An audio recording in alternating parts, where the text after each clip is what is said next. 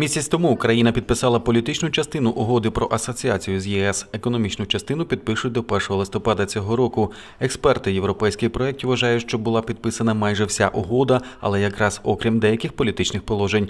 А цього тижня, саме з 23 квітня, почали діяти нові правила ввезення українських товарів в країни ЄС.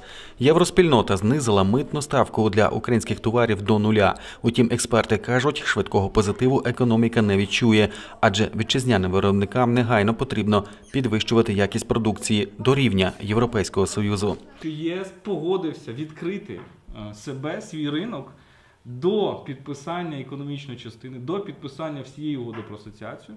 Фактично, ЄС сказав: Окей, ми відкриваємося, ми відкриваємо свій ринок перед вами.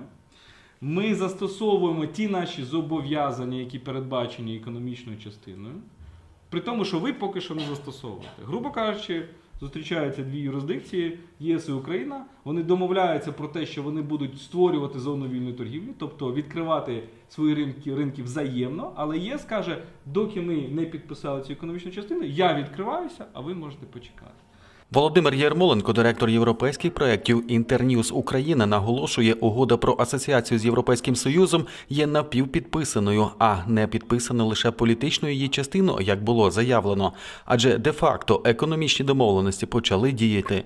Те, що залишається підписати, називається реформаторською частиною угоди, каже Єрмоленко. Нам, українському суспільству, зараз потрібно якнайшвидше, якнайактивніше лобіювати і тиснути на українців і європейців, передусім на українців, звичайно, щоб угода була вся підписана, тобто допідписана.